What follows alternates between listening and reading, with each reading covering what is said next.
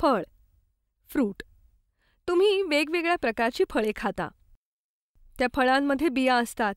तर आता आपण वेगवेगळ्या फळांमधील बियांची माहिती घेणार आहोत. बरं मला सांगा सगळीच फळं सारखी असतात का? नाही. बरोबर. सगळीच फळं सारखी नसतात. प्रत्येक फळाचे वैशिष्ट्य वेगळे असते. आपण पपई आंबा केळी फणस द्राक्षे अननस अशी अनेक फळे खातो. प्रत्येक फळाचा आकार रंग चव बी यामध्ये विविधता आढळून येते. आता मला सांगा आंबा व फणस यात काय फरक आहे? आंब्यात एकच कोय म्हणजे बी असते. तर फणसात असंख्य गरे आणि बिया असतात. फणसाचे बाहेरील आवरण कठीण असते तर आंब्याची साल मऊ असते. आंबा छोटा असतो तर फणस आकाराने खूप मोठा असतो. शाब्बास.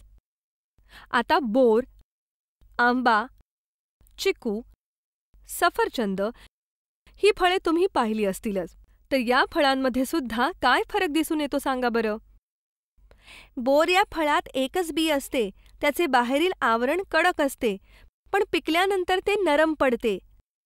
तसेच आंब्याचे फळ सुद्धा सुरुवातीला कडक असते पण पिकल्यानंतर नरम होते. आंबा पिकल्यानंतर त्याच्या बीचे रूपांतर बाट्यामध्ये होते. चिकूमध्ये एकापेक्षा जास्त बिया असतात आणि चिकूचे बाह्य कवच खूप पातळ असते. तसेच सफरचंदामध्ये सुद्धा एकापेक्षा जास्त बिया असतात.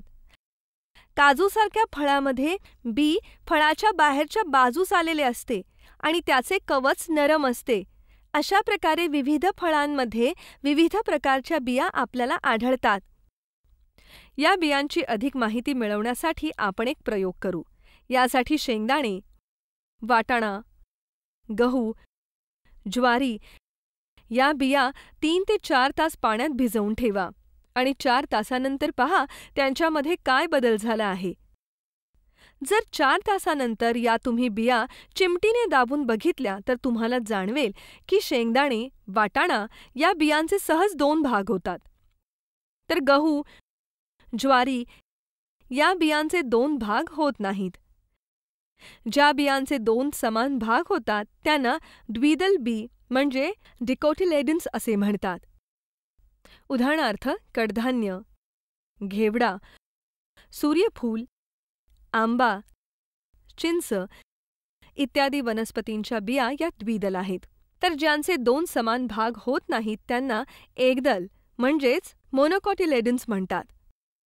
उदाहरणार्थ सर्व प्रकारची तृणधान्य कांदा लसूण नारळ इत्यादी वनस्पतींच्या बिया या एकदल आहेत.